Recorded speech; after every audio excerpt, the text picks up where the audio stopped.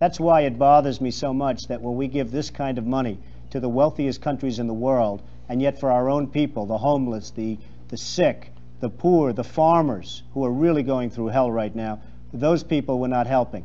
And why should we? I think it's ridiculous. And this country shouldn't be raising taxes. We ought to be lowering taxes. We should have a surplus, not a deficit. Because the kind of money that I'm talking about, and you can call them, as the man, as, as the gentleman before said, you can call it a tax, you can call it whatever you want to call it but those countries should be paying us major billions of dollars, and you won't have any deficits whatsoever, and then we'll be able to help the poor and the sick and the homeless and the farmers and everybody else. Well, I think just to answer your first part, I believe it's very important that you have free trade. But we don't have free trade right now because if you want to go to Japan or if you want to go to Saudi Arabia or various other countries, it's virtually impossible for an American to do business in those countries. Virtually impossible. And I have many friends, they go over to Japan. They can't open up anything. They need approvals, they need this, that. In the meantime, Japan comes over to this country, they're buying up Wall Street, they're buying up all of Manhattan's real estate. They're buying, which is fine as far as I'm concerned because they're paying premium prices that put people like myself in a very good position if I ever want to sell something. So the fact is that you don't have free trade.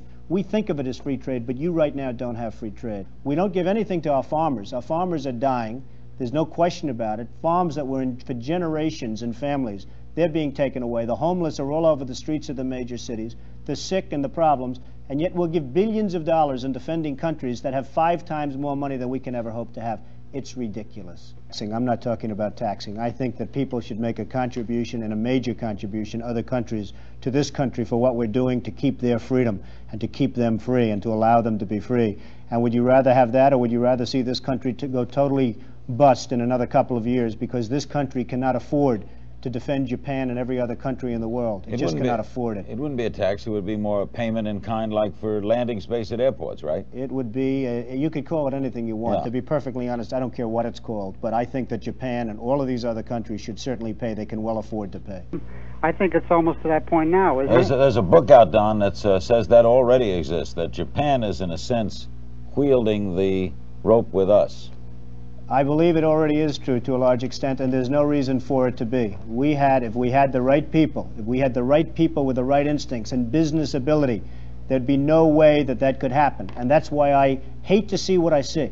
By the way, I like the Japanese very much. I do tremendous amounts of business with them. They, they do very well as far as I'm concerned. A man just bought a $21 million apartment in one of the buildings I own. A what? A 21 million. He bought seven apartments, a Japanese man, wonderful man. He bought seven apartments, put them together. He's building a 21 million dollar apartment. That's without the cost of construction, by the way.